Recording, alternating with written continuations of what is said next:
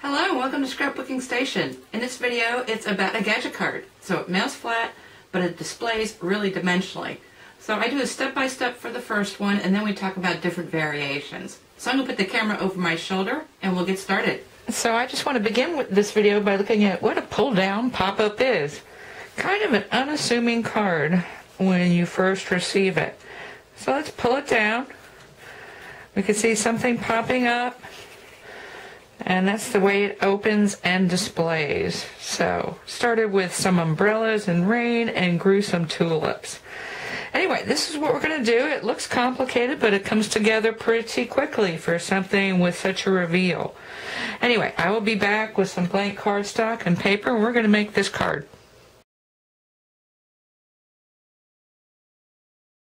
Now, in the structure for this first project, you're going to need, the finished size is four and a half by six, and so it's a landscape. And so you're going to need a base piece that's 11 by six inches, and that's double your height, which is four and a half, times two is nine, and then you want two inches for the fold under. And that'll become clearer as we start putting this together. The other piece you're going to need is your pop-up panel. And in this case, it needs to be approximately three inches wide. So I've got this tag that's three inches wide, needs to cover the height of your card. In this case, it's going to be four and a half inches. So this is more than enough, and I can cut this when we get to that point. Now the score lines, first off, are going to be one inch on each side. And again, that's going to kind of be the fold under. So you want to score it one inch from one end, and then one inch from the other. And I'm just using this outside measure to do that.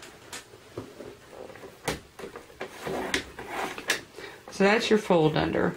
Now the center point is going to be at five and a half inches. Now the center in this card structure has to be cut and scored. Let me move this into the center a little bit. And so I know my scoring, my paper trimmer doesn't like to cut into a score line. So I want to cut first. And I want to give myself an extra half inch, which means I've got a quarter inch on both sides for my uh, pop-up panel to slide through. And so I can go from one and a quarter, so I'm going to set my blade at one and a quarter, and I can go to four and three quarters. And that's going to give me my cut line. I want to pick that up, get that out of the way, and then give myself my center score. Okay, so now you've got your base structure. So I've got the slit in here for the pop-up to come through, and then these ends are going to get folded down and then meet back together. And that's what's going to hold the pop-up. And so when this squats down, what we need to do now is go ahead and make the pull-down portion. But before I cut into the front of my card, what I want to do is go ahead and panel it. Because I've got to have the whole front, so I've got a piece of pattern paper. And I cut it 1 eighth short on all sides. And so what I've got is 4 and 3 eighths tall by 5 and 7 eighths and that's going to get put on here and then we're going to go ahead and make these cut lines. So I'm going to use a glue stick because I'm really not at this point sure where that's going to be. I want to make sure everything's really flat on there. So let me do that and I'll be back. Okay once I've got that front on I'm ready to make my cut lines for my pull down. And I did this ahead of time because I like to be directly over it. Now first thing I did is go ahead and fold it in half because I want to cut through both layers of my card front at one time what you want to do is set this up at one inch. And what I want is a one inch frame, three on three sides. So I'm going to set this up at one inch. I know I want to come in one inch from both ends. So again, I'm going to, this is six inches wide. So I'm going to put this down and cut from five to one. And that's going to make my top cut line. Then when I want to flip it. And again, I want to set up my the edge of my card at one inch. And I want to come two inches from the bottom. So that's going to go from one inch to, it looks like, two inches from the bottom is going to be two and a half. So it is a small cut line. It's not that, it's one and, one and a half inches actually as it works out. I'm going to flip to the other side and do my third cut. And so this is going to finish my flap. Again, I want to come one and a half which is two inches from the bottom of my card. Remember, this is a fold under, so that's not the bottom of your card. And so that's going to make this flat. Now, before you open it up, the last thing you want to do is go ahead and make these two side scores. So I'm going to set it up two and a half. You can tell it's it, it's at the edge of your cut line or the bottom of your cut line. And so it should be one inch on one side and then one inch on the other. And so let's see how the back is going to turn out. You just barely see that, so you've got that. So now actually you're ready for embellishments. There are some rules about how you go ahead and embellish that. But go ahead and give this a good score. So that's going to come like this. This one's going to give a good score that way. Oop, probably need a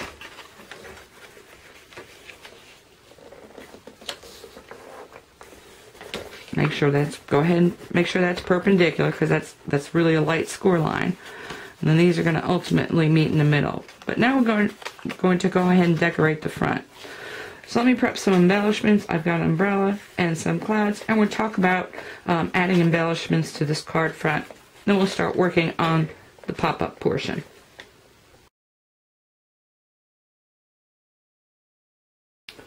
So I went ahead and attached my embellishments. In this case, they're all die cuts. And the only thing you want to keep in mind, well, there's a couple. There's two areas. There's the pull down, which is all going to disappear when the card is opened.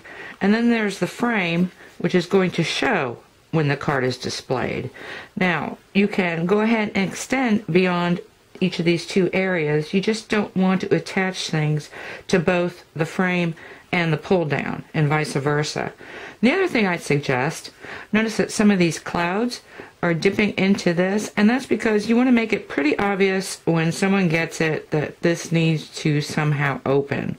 It kind of wants to open and we'll see that when the card is finished but that's the way you want to prep that.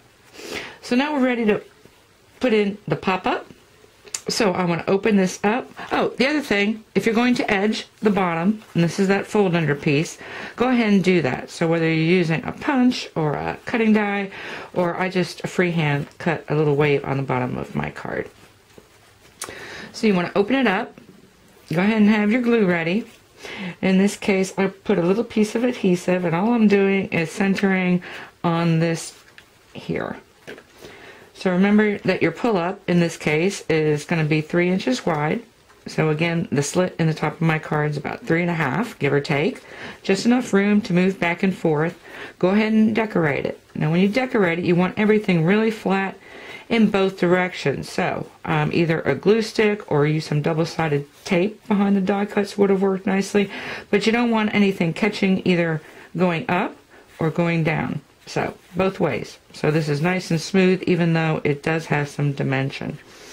So now what I've done is I put a little piece of double-sided sticky, and that's just to show you where I go ahead and put the glue. It's not really going to matter all that much. Again, I'm going to center around 6 inches. Let me peel this off. And so I want this centered also. I already know the height is going to be right. And I'm just going to lift it up just like an eighth of an inch.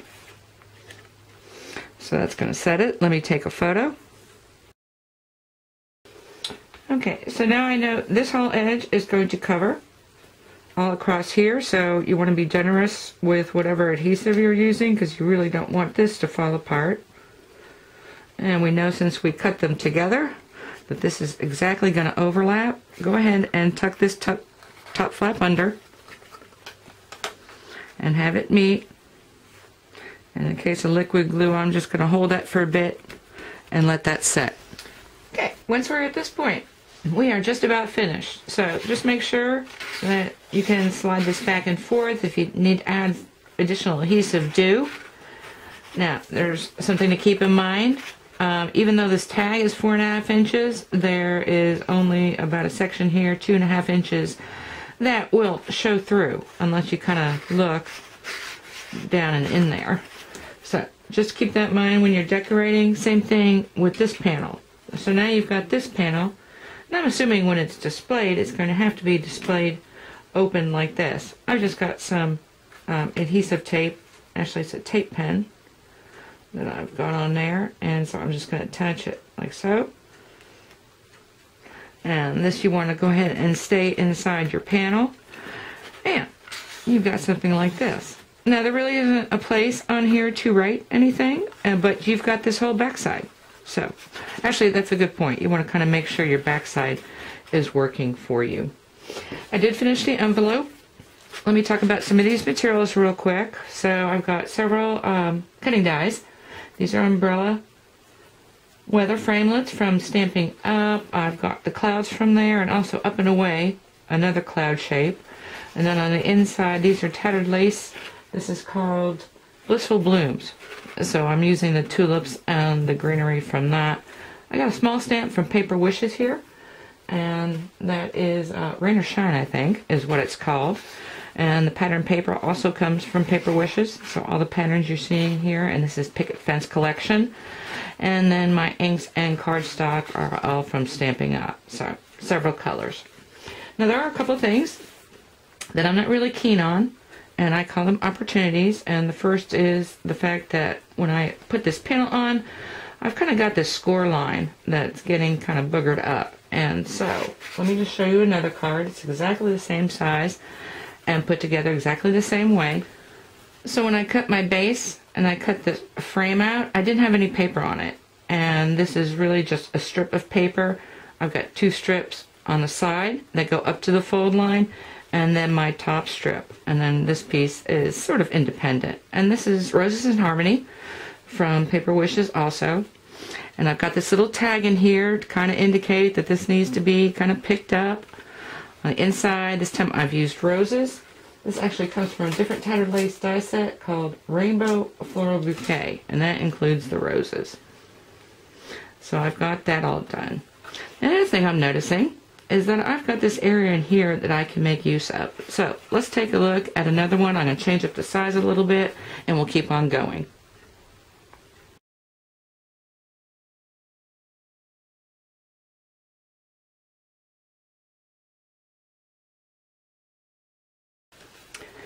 So for this project, I decided to make it wider. And the reason I'm making it wider, remember, is I want to use this space on the inside once it pulls down. So I'm going to put birthday, a little pennant here, and so that is just going to do it. Now if I have things peeking out the side, that works also because remember I want it to be pretty obvious that this flap needs to come down. So when you construct it, pretty much construct it exactly the same way, only my card width is wider. So in this case I've got a 7 inch card width. So my beginning card stock is 7 by 11. Again, I'm creasing 1 inch on both ends. I'm cutting my 1 inch frame. I cut it a little deep here, but I'm not going to worry about that because I am going to cover this panel.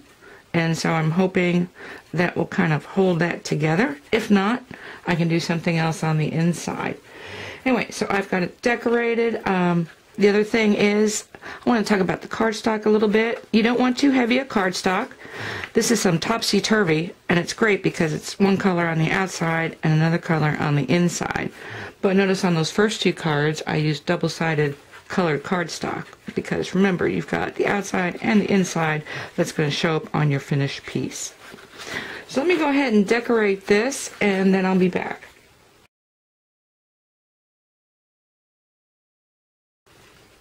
So I finished decorating the front and inside. Actually finished the card. Uh, no big reveal here because you've seen it in the title photos and the thumbnails. But a lot of texture. I think these gadget cards work really well for children. And so does textures and things popping out. So I've got my tattered lace teddy bear just for you. I've got some balloon framelits here that have these banners and then uh, texture. And I don't keep track of all my tech, uh, embossing folders, but that's where all that came from. The other thing is this double-sided or different-sided uh, cardstock is great because other than uh, that, all I've got here is white cardstock. So really cool. Anyway, let's go ahead and do that reveal. So I've got my balloons coming up. I've got my happy birthday now banner, and that display is just really pretty. The other thing I didn't mention, I increased my uh, pop-up pa pop-up panel to four inches and so the slit in the top is four and a half quarter on each side and again that doesn't have to be so persnickety you just want to give yourself room for that to move up and down in the card then on the back because I had those longer cut lines or you know mistaken cut lines I just added a couple more banners just to cover that up a little bit So that's how that turned out. And again, I went ahead and prepped an envelope, just adding the same texture that was on my card front. So that's ready to go. Now these have all been landscape, and I did want to try a couple um, tall cards. And so I used a 12 inch piece of cardstock for this one, and so the most I was able to get out of it was it's a five and a quarter inch tall, and I think it's four and a quarter. Yeah, I made it four and a quarter inches wide. And so this is the way this one's going to go. And it comes like this. And again, I cut a frame. This time I narrowed the frame to three quarter inches and I narrowed the bottom fold under to three quarter inches. And so with a 12 inch piece of cardstock, I was able to get a five and a quarter inch tall card. Now these papers are an old Stampin' Up paper. It's, uh, I think, Pretty Posies is what it was called. And my flower dies come actually out of China via eBay and then some stamping and dazzles. So that's really pretty.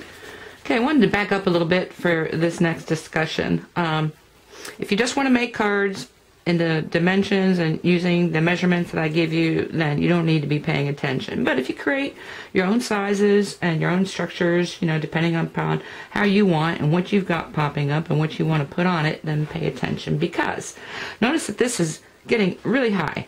And it's getting really high because this is proportional to the cut line. Remember in those first two examples, that cut line on the sides was only an inch and a half.